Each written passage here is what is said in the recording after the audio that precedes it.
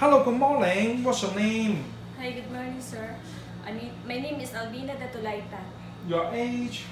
I'm 31 years old. Do you marry? No, sir. I'm Ah. single mom. Or single mother? Uh, how many children? Only one. Uh, how old?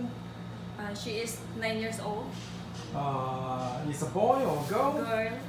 What is your working experience? Uh, working experience is uh, household work, uh, chores. Household chores Where do you working before? in Hong Kong. Or you working in Hong Kong? How many years? Um, four years, sir. Or four years in Hong Yeah. Kong? How many employer? Three. Three employer. Yes. The first employer, how many years? Uh, I finished my contract two years. Or the first employer, two years. How many person you take care? Uh, three. They have three person. Father Father, mother, and one son. and one son. Uh, the second employer, how many years? And the second employers is two months. Only two months. How many member of the employer? The member is three. Um, sorry, five members. Or five member. Father, Father, mother, and three sons. how old the three son? The the eldest is 15 years old.